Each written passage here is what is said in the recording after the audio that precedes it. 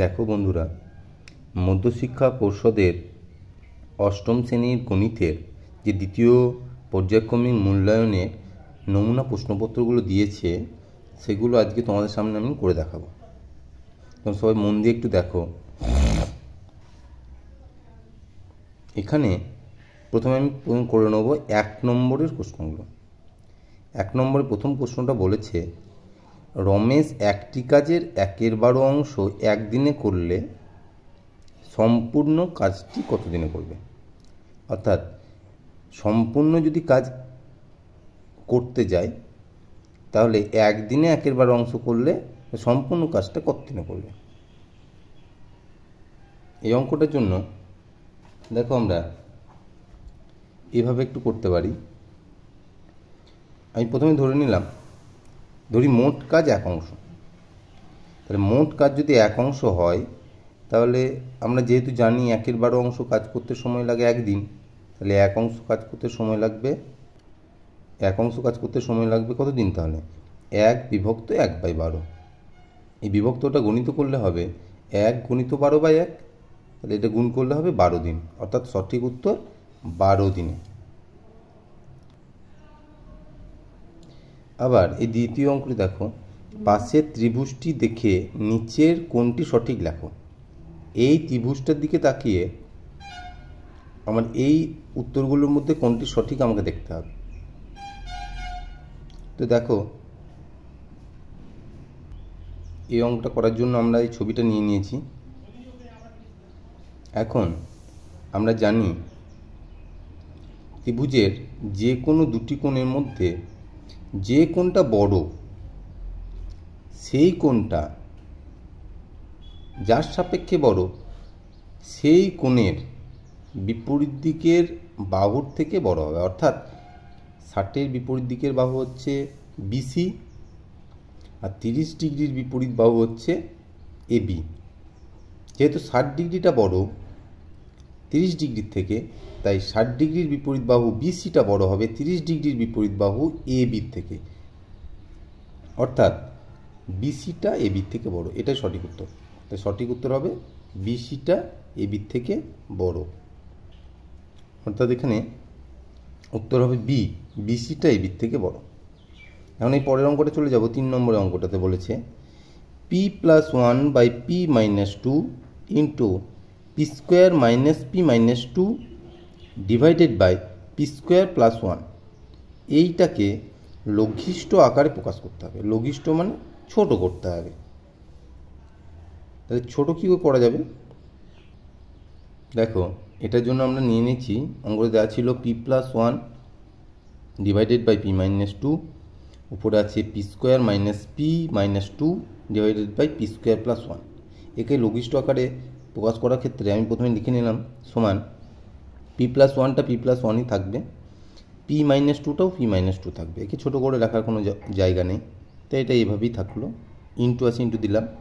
P square minus P minus two এই P square minus P minus two এটাকে আমি middle term factor করলাম। অর্থাৎ উৎপাদকে বিশ্লেষণ। কি করে করব? এখন এই পি স্কোয়ারের সহগ এক আর লাস্টে আছে দুই। এই দুটো গুণ করে নেব, দুই এককে দুই। দুইকে ভাঙতে হবে এমন করে যেন তাদের মধ্যে বিয়োগ করে এই মাঝের সহগটা আসে অর্থাৎ মাঝের সহগ হচ্ছে এক, সেই একটা যেন আসে। তাহলে দুইকে ভেঙে এক কী করে আসবে? দুই এককে দুই আর দুই থেকে এক বিয়োগ করলে এক। তাহলে লিখে নিলাম P square minus P minus one ব্যাকেটে P আছে, পি থাকল মাইনাস টু। তাহলে হয়ে যাবে পি স্কোয়ার ব্যাকেট তুললে হবে মাইনাস টু পি মাইনাস মাইনাসে প্লাস পি মাইনাস টু তাহলে হয়ে যাবে সমান পি মাইনাস টু দুটোতে আছে, তাহলে পি মাইনাস টু আর পি প্লাস ওয়ান তাহলে এটা আমরা এখানে লিখে নেব P square minus P minus two এর জায়গায় পি মাইনাস টু আর পি প্লাস ওয়ান এটা লিখে নেব। এর নিচে যেমন আছে পি স্কোয়ার প্লাস ওয়ান সেটা লিখে নিলাম। এখন কাটাকাটি যাবে পি মাইনাস টু এর সঙ্গে পি মাইনাস টু কেটে দিলাম, আর কিছু কাটাকাটি যাচ্ছে না। অর্থাৎ ওপরে থাকল পি প্লাস ওয়ান আর পি প্লাস ওয়ান দুবার। যেহেতু গুণ আছে, দুটোকে গুণ করলে এক্স এক্সে গুণ করলে যেমন এক্স স্কোয়ার পি প্লাস ওয়ানকে পি প্লাস ওয়ান দিয়ে গুণ করলে সেরকম হবে পি প্লাস ওয়ানের হোল স্কোয়ার আর নিচে হলো P square plus one P square plus one তাহলে সঠিক উত্তর পি প্লাস ওয়ানে whole square by P square plus one এটাই হয়ে যাবে সঠিক উত্তর। হ্যাঁ পরের দুয়ের দাগের অঙ্কটা দেখব দুয়ের দাগের অঙ্ক দিয়েছে। উৎপাদকে বিশ্লেষণ করো। যে কোনো একটি এখানে বলেছে একটি নয়, এই দুটোর মধ্যে দুটোই করব আমরা। প্রথমে এক একটা দেখাবো। এক একটাতে বলেছে X square, Y square plus twenty three X Y minus four hundred twenty, অর্থাৎ চারশো কুড়ি। এটাকে উৎপাদকে বিশ্লেষণ করব। দেখো এই উৎপাদক বিশ্লেষণ কীভাবে আমরা করব? দেখো, এটা উৎপাদকে বিশ্লেষণ করার জন্য প্রথমে অঙ্কটা টুকে নিয়েছি খাতায় X square Y square plus তেইশ এক্স ওয়াই মাইনাস চারশো কুড়ি।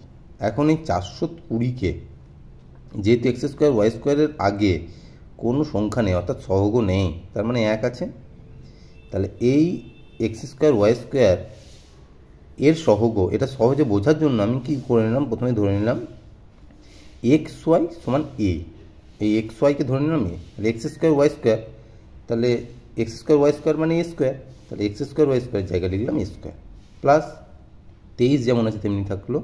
এক্স ওয়াইয়ের পরিবর্তে যেহেতু এ ধরেছি ওটা লিখলাম এ মাইনাস চারশো কুড়ি। তাহলে এখন সমীকরণটা, দীঘার সমীকরণটা এরকম দাঁড়াবে তাহলে এ স্কোয়ার প্লাস তেইশে মাইনাস চারশো কুড়ি।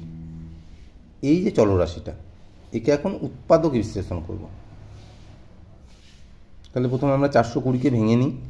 চারশো কুড়িকে ভাঙছি। এমনভাবে ভাঙবো যেন তাদের বিয়োগ করলে তেইশ আসে। এই চারশো কুড়িকে প্রথমে চার দিয়ে ভাঙলাম। চার একে চার চার শূন্য বসিয়ে চার পাঁচা কুড়ি। পাঁচ দিয়ে পাঁচ দোকানে দশ, পাঁচ একে পাঁচ, অর্থাৎ একুশ। তিন দিয়ে তিন সাত একুশ। এখন এগুলোর মধ্যে সাতের সঙ্গে পাঁচের গুণ করলাম। পাঁচ সাতে পঁয়ত্রিশ, আর তিনের সঙ্গে চারের গুণ তিন চারে বারো। তাহলে পঁয়ত্রিশ থেকে বারো বাদ তেইশ আসছে। তাহলে এই তেইশের পরিবর্তে আমরা লিখতে পারি পঁয়ত্রিশ মাইনাস বারো। সেটা আমরা লিখলাম পরের লাইনে স্কোয়ারটা স্কোয়ার প্লাসটা প্লাস তেইশের পরিবর্তে লিখলাম পঁয়ত্রিশ মাইনাস বারো। এটা এ মাইনাস চারশো কুড়ি। তারপরে আমরা এ স্কোয়ারটা লিখলাম ব্যাকেটটা তুলছি, তাহলে পঁয়ত্রিশ এ মাইনাস বারো এ মাইনাস চারশো কুড়ি। তাহলে এই দুটোর মধ্যে কমন গেলে হবে, এখানে এ পড়ে থাকবে এ প্লাস পঁয়ত্রিশ এ থেকে এ কমন গেলে পড়ে থাকবে পঁয়ত্রিশ মাইনাস বারো এ আর চারশো কুড়ির মধ্যে বারো কমন তাই বারো কমন গেলে পড়ে থাকবে এখানে শুধু এ মাইনাস কমন নিয়েছি তাহলে এই মাইনাসটা হয়ে যাবে। প্লাস চারশো কুড়ি থেকে বারো কমন নিলে, চারশো কুড়ি থেকে বারো কমন নিলে পড়ে থাকবে পঁয়ত্রিশ। এখন এখানে এ প্লাস পঁয়ত্রিশ, এখন এ প্লাস পঁয়ত্রিশ। এই দীঘার সমীকরণটা, এই দীঘার চলরাশিটা এই উৎপাদক বিশ্লেষণ সঠিক হয়েছে কি না বোঝার নিয়ম হচ্ছে এই দুটো ব্যাকেটের সংখ্যা একই চলে আসবে। দেখো, এক্ষেত্রে তাই এসছে। এ প্লাস পঁয়ত্রিশ এ প্লাস পঁয়ত্রিশ। এই দুটো থেকে এ প্লাস পঁয়ত্রিশ কমন তাহলে এখানে পড়ে থাকবে এ মাইনাস বারো। তাহলে এটা উৎপাদক বিশ্লেষণ হয়ে গেল এ প্লাস পঁয়ত্রিশ এ মাইনাস বারো। কিন্তু এই অঙ্কে এ বলে কোনো সংখ্যা নেই এখানে। আমি ধরে নিয়েছি এক্স ওয়াই সমানে, তাহলে এর মানটা এখানে বসিয়ে নেব এক্স ওয়াই তাহলে এখানে লিখলাম, এখন এ এর মান বসিয়ে পাই। এ বসিয়ে দিলাম এর জায়গায় এক্স ওয়াই তাহলে এক্স ওয়াই প্লাস পঁয়ত্রিশ এই এর জায়গায় এক্স ওয়াই বসিয়ে দিলে এক্স ওয়াই মাইনাস বারো। তাহলে এটা হয়ে যাবে ওর উৎপাদকে বিশ্লেষণের অ্যান্সার পরের উৎপাদকে বিশ্লেষণটা দেখে নাও একটু। পরেরটাতে বলেছে পি স্কোয়ার প্লাস একত্রিশ পি কিউ প্লাস একশো আট কিউ স্কোয়ার এটাকে উৎপাদক বিশ্লেষণ কীভাবে করব? এটাকে উৎপাদক বিশ্লেষণ করার জন্য আমরা প্রথমে অঙ্কটাকে খাতায় টুকি নিয়েছি। পি স্কোয়ার প্লাস একত্রিশ পি কিউ প্লাস একশো আট কিউ স্কোয়ার এবার আমরা কী করব? এই একশো আটটাকে এমনভাবে উৎপাদক বিশ্লেষণ করব, ভাঙবো যাতে করে তার আগের চিহ্ন, অর্থাৎ প্লাস যোগ করে একত্রিশ আসে। তাহলে একশো আটকে ভাঙছি।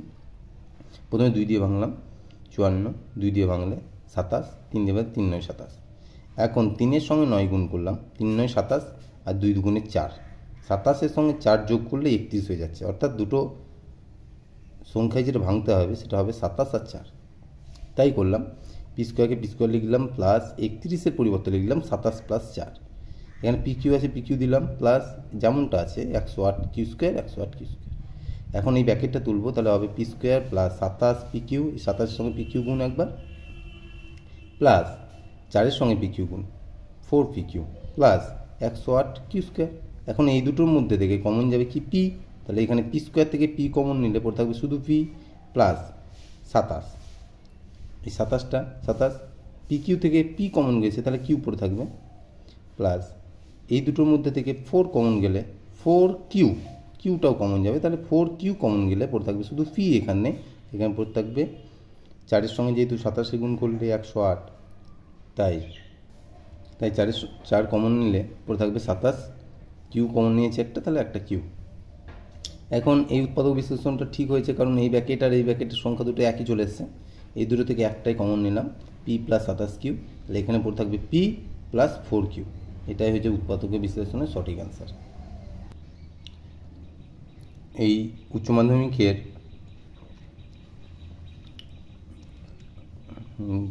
মাধ্যমিক মধ্যশিক্ষা পর্ষদের যে অষ্টম শ্রেণির গণিতের দ্বিতীয় পর্যায়ক্রমিক মূল্যায়নের যে নমুনা প্রশ্নপত্র, খুব ইম্পর্ট্যান্ট কোশ্চেন এখানে।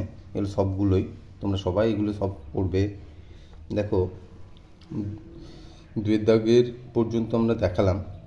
এবার তিনের দাগেরটা দেখব। তিন থেকে বলেছে, বীজগণিতিক সংখ্যাগুলির গসাগু। অর্থাৎ বীজগণিতিক সংখ্যাগুলির গসাগু আমাকে করে দেখাতে হবে। এখানে প্রথমটা বলেছে, এরকম, দেখো তোমরা, এ স্কোয়ার মাইনাস ওয়ান, এটা একটা, এ কিউ মাইনাস ওয়ান, এটা একটা, আর A square plus A minus two. এই তিনটের গসাগু কী করে বার করব আমরা? তিনটে বীজগণিতিক সংখ্যামালা যেগুলো আছে, তাদের গসাগু প্রথম সুবিধার্থে আমরা অঙ্কটা খাতায় টুকে নিয়েছি।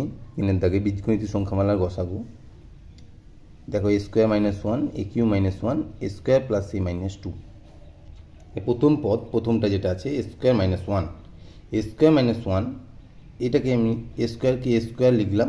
আর ওয়ানটাকে ওয়ান স্কোয়ার লিখতে পারি ওয়ান স্কোয়ার মানে ওয়ান তাহলে A square minus one square এটাকে যদি এ এটাকে যদি বি ভাবি, তাহলে এ স্কোয়ার মাইনাস বি স্কোয়ারের ফর্মুলা এখানে হবে।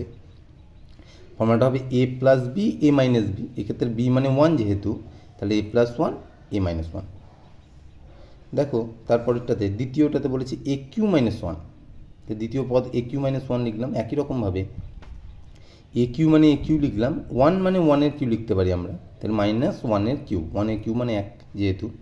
তাহলে এ কিউ মাইনাস একের কিউ এটাকে ধরলাম এ আর ওয়ানটাকে ধরলাম বি এক্ষেত্রে। তাহলে A Q minus B Q আমরা ফর্মুলা সবাই জানি। সূত্রটা হচ্ছে এ মাইনাস বি আর হচ্ছে A square plus A B plus B square. A minus B R A square A square plus A B plus B square. তাহলে দেখো এক্ষেত্রে বি মানে তো এক। তাহলে হয়ে যাবে এ মাইনাস এক বা এ মাইনাস ওয়ান একটা ব্যাকেটে তারপরে ব্যাকেটে এ স্কোয়ার এ স্কোয়ারটা স্কোয়ারই বি মানে যেহেতু ওয়ান তাহলে এর সঙ্গে ওয়ানের গুণ করলে এই পড়ে থাকবে তাহলে plus A plus B square B square B যেহেতু ওয়ান ওয়ান স্কোয়ার মানে ওয়ান তাহলে এটা হয়ে গেল A minus one square plus A plus one আর তৃতীয় পদ যেটা দিয়েছে square plus A minus two এই square plus A minus two এক্ষেত্রে এই দুইটাকে এমনভাবে ভাঙতে হবে যাতে করে এই মাঝের যে পদটা আছে, এই মাঝের যে সংখ্যাটা আছে তার সহগটা আছে, অর্থাৎ এর আগে এক আছে। দুইকে ভেঙে এক আনতে হবে। দুই থেকে একবার। এটা মিডল টার্ম ফ্যাক্টর বলে আমরা সবাই জানি। ঠিক সেরকমভাবেই করলাম মিডল টার্ম ফ্যাক্টরটা এ স্কোয়ার প্লাস দুই minus one A minus two এখন ব্যাকেটটা তুললে হবে তুললে হবে ব্যাকেটটা তুললে হবে A square plus two A minus A minus two এই দুটো থেকে এ কমন গেল, তারপর থাকল এ প্লাস টু এই দুটো থেকে মাইনাস ওয়ান কমন গেল, তারপর থাকল A plus two minus one common মানে এর সঙ্গে তো কিছু নেই, তাহলে মাইনাস ওয়ান কমন নিলাম। এখন এটা এত দূর পর্যন্ত উৎপাদক বিশ্লেষণ সঠিক আছে, কারণ মেরিনা ফ্যাক্টরটা সঠিক থাকার নিয়ম আমি আগেই বলেছি। এই ব্যাকেটের ভিতরে সংখ্যা দুটো একই থাকবে, এখানে একই আছে। তাহলে এই দুটো থেকে একবার নিলাম এ প্লাস টু তাহলে এখানে হয়ে গেল A minus one A minus one তাহলে এ প্লাস টু আর এ মাইনাস ওয়ান এখন নির্ণয় গসাগু গসাগু অর্থাৎ কি? গসাগু বের করার তো নিয়ম আমরা সবাই জানি। এই তিনটে পদের মধ্যে এমন কোন উৎপাদক যেটা সব তিনটেতেই আছে, সেটাই তো গসাগু। কোনটা আছে? দেখো, এক্ষেত্রেও এ মাইনাস ওয়ান আছে, মাথায় টিক দেওয়া আছে। এক্ষেত্রেও এ